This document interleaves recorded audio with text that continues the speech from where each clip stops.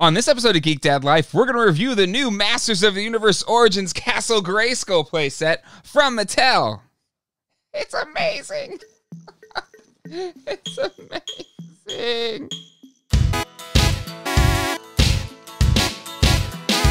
Everybody, and welcome to Geek Dad Life. It's your host, Jay Gladfelter here. I have loved the Masters of the Universe Origins line and have reviewed a lot of it. If you'd like me to do more Masters of the Universe Origins reviews, hit that like button. And if you want to see when those episodes arrive, click on that subscribe button and that bell icon. Back on October 9th, Blurry Pictures were confirmed that we were going to get a Masters of the Universe Origins Castle Grayskull. And now in 2021, they are starting to arrive in Canada. And the US pre orders should ship in April, but I couldn't wait that long, so I got myself one of those Canadian Grayskulls and had them shipped down south of the border so that I could open this thing up and review it here on the channel.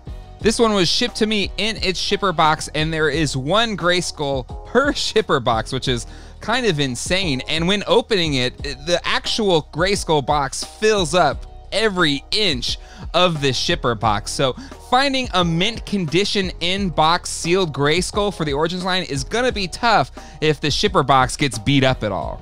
And when opening, be careful because there is nothing protecting the top of the box from any type of box cutter that you use to open the shipper. And the box for Grayskull itself is massive. It's just about 26 and a half inches long and about 18 and a half inches tall and about five and a half inches deep. And when you take it all in, it's just wondrous. We loved the artwork when we first saw it. The pencils by Axel Jimenez and the colors by Nate Baertsch just are absolutely jaw dropping, and it's so great that they gave such a large tapestry for those great artists to work with here. We went into every detail of this art with Nate Baertsch on the channel back in October. I'll put a link to that in the description below and also right here but it's an absolute nod to the amazing artwork from the original Masters of the Universe line, and it just looks amazing. It's a total battle royale with so many characters, Grayskull at the forefront, and just this beautiful pink, purple, and blue spacey sky with big planets. It just, ah, uh, it looks incredible. The artwork wraps around the flaps as well as the front of the box.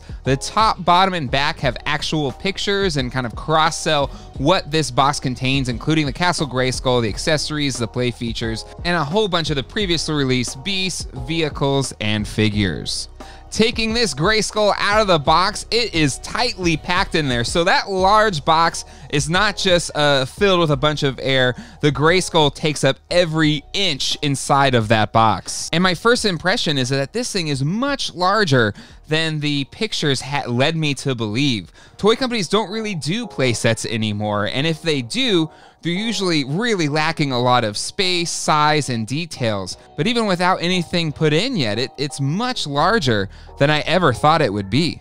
There is some assembly required and a few stickers to apply, but it's fairly easy and pretty straightforward to put the floors in. There's a nice little clicking, snapping sound. The computer and electronics just kind of plug right into the walls. The bottom of the elevator also clicks right in, and the throne has a nice little notch on the bottom to make sure it goes in just right to operate the trapdoor mechanism. I'm not a big fan of having to apply stickers, but you know, it wasn't too bad. Uh, they're really the same stickers that were on the original playset, save for the two banners, which we got an upgrade on here. They're actually an actual piece of cloth, which I thought was really, really neat. Has the same consistency as uh, most ribbons uh, would have, but it just adds, it's a really nice touch. And, uh, you know, I really, really, really dig it. I think the updated dungeon uh, sticker looks really good. I like that it has a recessed place to apply it, which kind of helps you uh, in the application. There is a big sticker for the computer screen, which is probably the toughest one to apply because it has very unique little edges to it. So just be very careful there. I mean, really, my advice across the board is really put it up to the edges. It fills a lot of the space uh, that the sticker intends to apply to. Uh, the one kind of knock on any of the stickers here is for the flag. It's a lot smaller uh, than it was on the original one. Uh, but other than that, I think most of the stickers here are really nice. The graphics look great and they really pop. Once assembled, this Grayskull looks so stinking cool. I mean, overall, the, the impressions in hand are way beyond any expectations that I had uh, when first seeing those pictures back in October.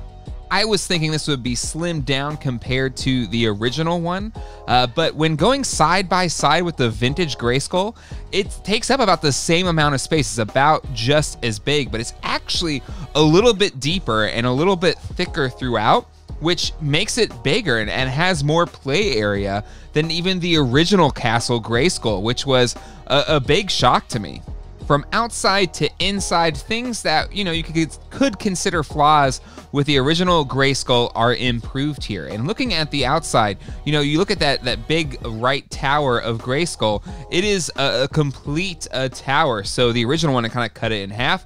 And here they give you both sides a full standing area that does split in half when you open it up. And honestly, it's a huge improvement compared to the original one, and something, you know, that the things that they did with the classics version, which was great and amazing.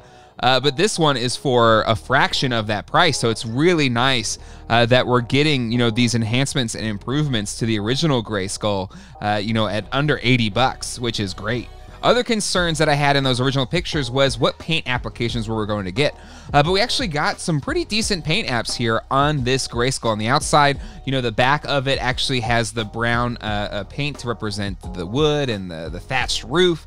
Um, and then on the front, we have, you know, uh, the, the dark around the eyes and, you know, that kind of mossy green color looked a little off-putting in some of the pictures, but it's really subdued and, and presents really well in person. And then that door, that drawbridge, uh, is actually fully painted and it looks fantastic. It's a wooden door on the front side uh, and has the paint to represent uh, the metal pieces as well as the kind of uh, uh, oxidized shield. And when you look side by side with that vintage Castle Grayskull, it is, you can just see how much thicker it is. And, and that is just a really, really cool feature of this playset because it allows you to uh, display and have so much more play area than the original one had. Which again, in this era of playsets never happening is awesome. The one main play feature on the outside is the jaw bridge, and it does not disappoint. So you can either use just one half of the power sword or both halves, uh, and you, you stick it in and it opens up. But what's really cool, it's actually a spring locked mechanism. So unlike the original one where you kind of push and then it would just fall down, uh, this one you just push and it un- like kind of uh, unlocks it and then it will fall. But the second you push it back in, it'll click and lock into place. So that's a really nice feature there.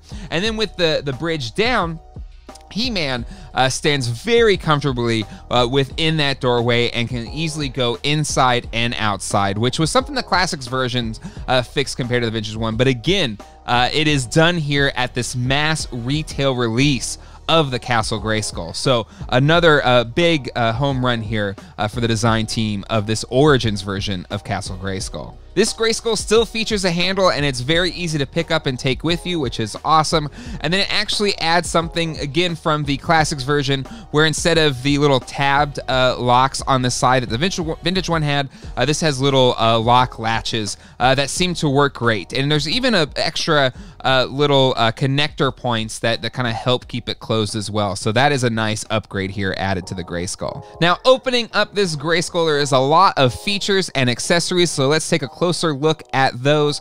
Uh, first, I gotta go with the weapons rack. It's kind of that classic uh, accessory of part of uh, Grayskull, at least to me anyway. And it is a lot smaller than the vintage one, uh, but I do think they added some enhancements here. They, the weapons actually click into place, so unlike the vintage one where they just fall off all the time, and you probably lose those pieces, uh, these click into place and actually stay in place, which is really nice. But you do have fewer accessories with this Grayskull versus the original, uh, but I assume we'll get more of those accessories accessories over time. Doesn't bother me too much. I think it looks really good. It's in that wood color, and I think it, it, it does uh, come across really nicely. The training wheel is an upgrade here. It's a lot thicker and chunkier and more detailed than the original Castle Grayskull came with. I think it's a really nice upgrade here.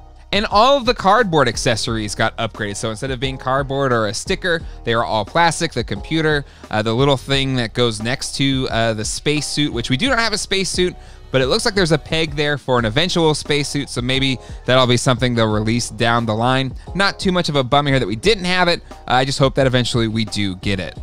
And then that uh, other weapons rack that was a cardboard cutout. We actually have another uh, rack for our weapons here. Now it doesn't come with any weapons, but you know you can add uh, you know any of your extra Motu Origins weapons to that rack. A nice little add here. Didn't need to be there at all, but a nice thing to have nonetheless. The ladder was a surprise, you know, really enjoyable accessory here. Not something you really think, but I love how they kind of added these little notches around the playset to kind of give you more use out of the ladder. It's also a lot larger uh, or longer than the original one, and even the classics one that you can really, you know, if you're playing with the figures, uh, it makes sense that this ladder would actually function and be usable. Uh, so you have the ability to, on the computer side, uh, to kind of notch it on that level and then put the ladder up against uh, the very top of the back half of the right tower, and it looks great there. Honestly, if I if, if I display this open, that's probably where I'll have the ladder the most because it kind of lets you get to that next level, uh, which is something that's a, a, nice thing to have. And then there's also notches on the throne room side uh, that allow you to go from the ground floor to the throne room. And it, again, it just allows it to hold there. So I think it's a really nice feature add. And for the iconic laser cannon, it keeps a lot of the same uh, colors uh, from the original one, uh, but it does kind of change up the look of the two cannons. It's kind of smaller and shifted to one side, which is a design choice. I think it, it looks fine here. The handle's actually kind of too big for most any Origins figure to use, but one great thing about the castle itself is the actual landing area there, or the actual ground or, or floor area is much larger than the original one. Like for the original one, you can kind of just like tuck on and hold on to the laser cannon for dear life uh, for the figure. There's really nowhere else for the figure to stand. Uh, but here, there's a ton of space that fills up uh, that whole area, and there's a foot peg hole. Uh, so it's very comfortable to have one or two figures uh, stand in that area. The elevator functions almost identical to the original one. It has a little eagle that connects to a string, and you pull it up, and uh, you kind of can just clip it on to different parts of the castle, kind of keep it upright if you have a figure sitting on it. Uh, I think it's nice. I, I, like that it's still functional. And for one of the most iconic play features from that original Grayskull, as well as the classics Grayskull, the trap door works just like it should looking like the original one with a, a, rectangular shape, much like a rug would be. And uh, it's big enough to, you know, allow most any figure so far in the Origins line to fall through. And, you know, trying it out here with Skeletor and He-Man, uh, I think it works great. I will say the Origins figures on a, on the whole don't really get into a perfectly seated position very well. Uh, so sitting any figure on the throne is a little bit difficult. Uh, it was really difficult for the Sorceress figure that came with this, but uh, overall, though, I think the throne looks great and the trapdoor works great, and really, what more could you ask for? Speaking of that sorceress figure, this figure actually looks fantastic. I was expecting this kind of be a throw-in for them to really not put much effort into the figure, especially since it's mostly casted in white, since this is the Temple of Darkness uh, version of the sorceress.